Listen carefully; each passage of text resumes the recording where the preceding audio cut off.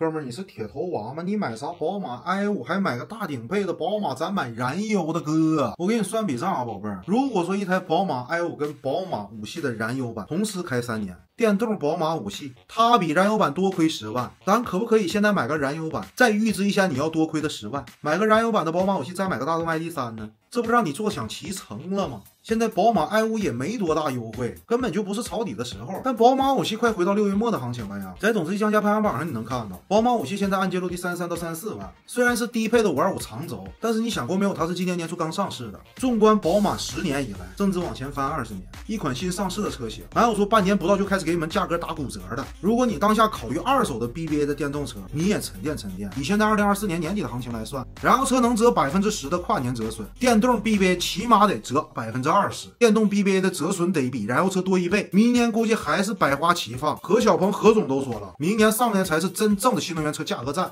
到时候价格战人脑袋给你打成狗脑袋，再去抄底捡漏你喜欢的 BBA 电车也不迟啊。再就是油改电那些个烂眼子，你尽量别碰，都给它推沟里。马上二零二五年了。再过两年，固态电池满街跑了，还整那些个油改电，疯了吧你？OTA 升级不了的那些个烂货，除了一个标，除了一个牌子，能给你带来什么情绪价值？同意的打同意，还有什么问题打出来，我给你回答的明明白白。